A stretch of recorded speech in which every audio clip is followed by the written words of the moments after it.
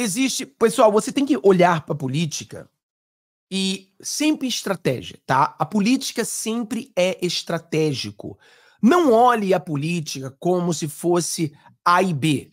A política sempre é estratégia. Não, não, não pense você que a decisão do Bolsonaro escolher o Nunes é porque o Bolsonaro gosta do Nunes, é porque o Bolsonaro não gosta do Salles. Hum, é estratégico, pessoal. É estratégico. No momento, existem analistas políticos, cientistas políticos investigando. O partido do PL é um partido que tem muita grana. O partido do PT é um partido que tem muita grana. Os dois partidos estão usando essa grana para os seus benefícios, pesquisas, entendimento, para saber o que acontece na cidade de São Paulo. Não pense você que você sabe mais do que o Bolsonaro sabe. Não pense você que você sabe mais do que o pessoal do PL está tá vendo. Então é estratégico. Como assim estratégico, Fábio? É que, como eu falei para você várias vezes, e sempre quando eu chego a uma decisão aqui, a um resultado, eu tento explicar para você como que nós chegamos a esse resultado, tá? Aí eu falo, a pessoa fala assim, mas Fábio, por que, que o Bolsonaro está escolhendo Nunes ao invés de escolher o Ricardo Salles? Se eu e você e todo mundo sabe que o Ricardo Salles é o melhor candidato que nós temos. Fato que o Ricardo Salles é melhor. É fato que Ricardo Salles é um, um, uma raiz da direita, uma direita raiz. É fato que ele faria da cidade de São Paulo uma cidade muito melhor. Tudo isso é fato. O que nós precisamos entender é: o Ricardo Salles conseguiria se eleger em São Paulo? Aí você tem que tirar a emoção, né? Torcida organizada, e você tem que ver coisas técnicas. E o que, que eu falei para você? Eu botei alguns pontos para você pensar e analisar. Primeiro ponto: se isso é fato, que o Nunes, quer dizer, o Ricardo Salles ganharia as eleições em São Paulo? Ponto um. Por que, que o Bolsonaro não escolhe ele e o PL escolhe ele? Eles são burros. Esse é o primeiro ponto. Começa a abrir sua mente. Abre sua mente.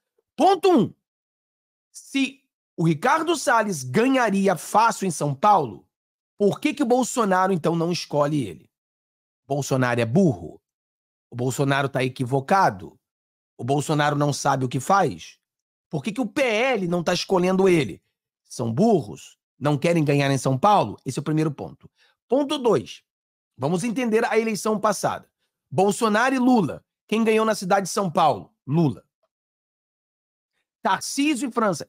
E, e Tarcísio e o, e o Haddad. Quem ganhou na cidade de São Paulo? Haddad. O, o cara da Lua aí. O astronauta. O astronauta e França. Quem ganhou na cidade de São Paulo? França. Quem foi o deputado mais votado na cidade de São Paulo? Bolos. Isso aqui são fatos incontestáveis que você precisa colocar numa equação inteligente e não emoção. Tira o coração. Tira o time. Vamos olhar os fatos que eu estou colocando para você. Fato 1. Um, Bolsonaro é burro? Não é. Fato 2. Bolsonaro perdeu na cidade de São Paulo para o Lula. Fato 3. O Senado perdeu para o Lula em São Paulo. Fato 4 governo perdeu para Lula em São Paulo. Então, está mostrando a você que na cidade de São Paulo nós temos um povo que é centro-esquerda à esquerda. Nós não temos na cidade de São Paulo uma direita raiz. E isso aí, pessoal, é um fenômeno que não é só no Brasil. No mundo todo é assim. Aqui em Los Angeles é um inferno da esquerda. Chicago, um inferno da esquerda. Nova York, um inferno da esquerda. Houston, em Texas, é um inferno da esquerda. Toda grande metrópole aqui nos Estados Unidos é esquerdista. No Brasil, talvez tenha algumas cidades grandes que ainda não sejam. Mas a maioria dos lugares que você vai, que são grandes metrópoles, elas têm a tendência de centro-esquerda à esquerda. Você entende que essas metrópoles são consistentes. Ah, quem é que está nessas metrópoles? Você vem o povo baiano que sai da Bahia e vai procurar trabalho aonde? Na grande São Paulo, né? na cidade de São Paulo. Esse baiano que normalmente sai da Bahia, infelizmente continua a votar na merda do governo que ele deixou de abandonar. É um fenômeno que eu preciso explicar para vocês, porque acontece no Brasil. Me vem um brasileiro babaca que sai do Brasil porque o Brasil está uma merda por causa desse governo de esquerda. O cara chega nos Estados Unidos e ele quer apoiar o Biden. É a vergonha de ser brasileiro. Quando eu vejo um brasileiro nos Estados Unidos apoiando o Biden, eu me sinto envergonhado. Porque o povo americano pensa que eu sou um babaca igual a ele. Entendeu? Porque os caras, eles julgam todo mundo. Eles olham um brasileiro que apoia o Biden e pensam que todo brasileiro é burro. Não, não, não, meu filho. Esse cara que tá apoiando o Biden aí teve, caiu de cabeça, só pode ser. Porque ele saiu do Brasil, porque o Brasil tá uma merda. Chega aqui e quer um cara que é uma merda. Entendeu? Eu falei para Existem pessoas que o, o, o, o eleitor lombriga, né? Ele tem que estar tá na merda, sempre na merda. Sai da merda, morre. Então o cara procurando a merda. O cara sai da Bahia, votou pro Lula. Não tem trabalho, não tem oportunidade, não tem dinheiro, tá fudido. Vai para São Paulo e volta pro Lula. Porra, mano. Não é possível. Você saiu da Bahia porque o Lula ferrou com o seu Estado. Ferrou. Ele acabou com o seu Estado. Aí você sai da Bahia, porque não tem ajuda, não tem nada, chega em São Paulo e você volta pro cara que ferrou contigo lá na Bahia. Quer dizer, como é que, cara, como é que você vai ter uma vida diferente se você continua votando pelas mesmas pessoas? Entendeu? Eu tô usando o exemplo da Bahia. Mas é muitas pessoas que vêm do norte também, do nordeste também, de todos os lados. As pessoas buscam essa oportunidade nas grandes metrópoles e, infelizmente, eles são incapazes de entender que eu estou num lugar novo, buscando oportunidade que tem, porque nesse lugar ainda não tem o governo da onde eu estava. Porque o problema não está com a Bahia. O problema não está com o Rio Grande do Norte. O problema é que está com o governador do Rio Grande do Norte, da governadora. O problema está com o governador da Bahia. Esse é o problema. O problema não é o lugar. Não é o lugar. Se você tivesse alguém lá de direita, alguém capitalista, alguém que acreditasse, em vez de dar peixe ao povo, desse vara para o povo pescar, rapaz, o Nordeste estaria bombando. Bahia estaria bombando. Cara, Bahia é um, um, estado sensacional que deveria ter milhões e milhões entrando em turismo. É um lugar maravilhoso. Cara, ninguém vai visitar a Bahia. O turismo é acabado. Aí o Lula vai e bota visto para gringo ir para o Brasil. Olha só que boçal. E aí, essa visão nacionalista, esquerdista que tem muito no Brasil. Ah, não. Se o brasileiro precisa de visto para os Estados Unidos, o americano também precisa de visto para vir para o Brasil. Meu filho, a diferença é que o brasileiro está fugindo do Brasil. O americano está indo para gastar no Brasil. Você está entendendo a diferença? O americano não está fugindo dos Estados Unidos para o Brasil. O americano está querendo ir para o Brasil gastar dinheiro. Aí o Lula vai e faz a situação difícil para ele sair dos Estados Unidos e chegar no Brasil. Que um amigo meu queria ir para o Brasil, ele não sabia, tudo pronto para ir, chegou no aeroporto, tinha que ter visto para ir para o Brasil. Não foi. Ou seja, aquele cara ia gastar milhares no Brasil, não gastou. Por quê? Porque um governo de bosta que nós temos, um bosta, que proíbe as pessoas de irem gastar dinheiro no Brasil. Porque ele acha que é a mesma coisa. Não. O brasileiro está fugindo do Brasil para os Estados Unidos. O americano não está fugindo dos Estados Unidos para ir para o Brasil. Ele está indo visitar, ele está indo gastar, ele está indo comprar. É totalmente diferente. Mas não adianta. Por isso que Bahia tá como tá. Não tem turista. Cara, você vê o Brasil um país tão lindo. Cara, qualquer dia que você tiver tempo, vá no Google e veja, por exemplo, o turismo que existe na Flórida. Cara, compara o turismo da Flórida, em Orlando, com o turismo no Brasil inteiro. Você vai ficar com vergonha.